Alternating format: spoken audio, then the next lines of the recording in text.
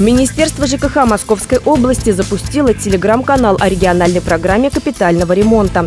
Сведения на эту тему представлены в информационно-развлекательном формате. Ориентироваться в новом паблике подписчикам помогают различные рубрики. Виды работ капремонта, перемены в Подмосковье, было-стало, важно знать и другие. Удобная навигация позволяет получить необходимую консультацию от компетентных сотрудников и ответы на актуальные вопросы.